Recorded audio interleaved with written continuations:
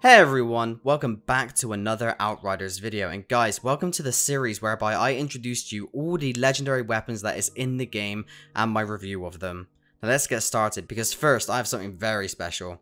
Welcome to the first ever legendary weapon that I got in Outriders, and I am very proud to say that this is one of the best legendary weapons in the game thus far. Today I bring you Rarog's Gaze, which is one of Outriders' legendary rifles. This gun looks absolutely stunning. The level of detail that went into this design is simply incredible. The way the gun looks like it's made entirely out of bone with this crystal-like substance inside that's giving this gun the power that it possesses. It goes without saying at this point that I'm really pleased with the way this gun looks. But let's get into the mods and stats of this beast. This gun fires a high high-powered single shot and has a clip size of 8. The RPM of this gun is 149 whilst doing 39 base damage. The reload takes 2 seconds and your crit multiplier can go up to 250%. The accuracy is quite high, sitting at 76%, which is to be expected for a rifle. Its stability is just above halfway at 59%, which isn't too bad, being a high powered single shot, the range is a huge 180 range, which means that you can sit back and pop some heads very easily, which you'll see very shortly. Rarog's Gaze has two unique mods, which are Weakness Trap and Burning Bullets.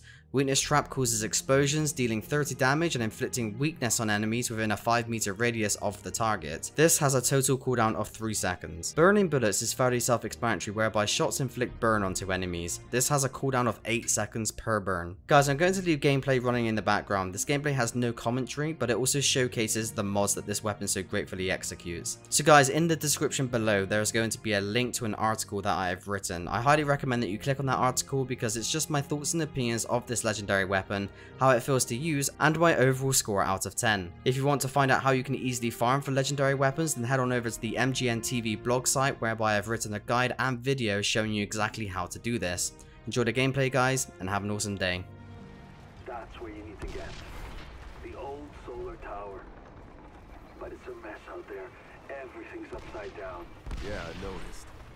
Don't worry, I'm carving my way through it.